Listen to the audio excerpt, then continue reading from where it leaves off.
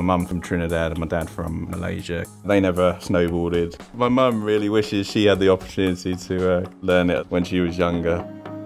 When I was about 20, I joined a university ski and snowboard trip.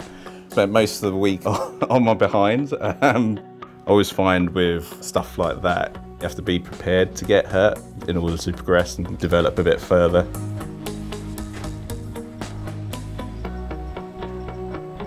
What's good about Milliman is you have the freedom to say, okay, well, I'll give this a try. If it doesn't work, then okay, that's fine, I've learned from that. Those you report to are willing to sort of let you go out and try things yourself and then sort of have that guidance if you need it. At Milliman, I was given a chance to co-author a article into uh, culture.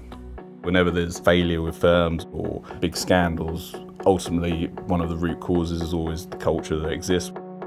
If the culture didn't quite resonate with an environment I like to work in, then I don't think I would have been, been at the place for over five years now.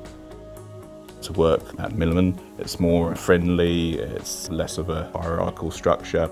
I think it's right to live life without any regrets personally or professionally. It's a great feeling.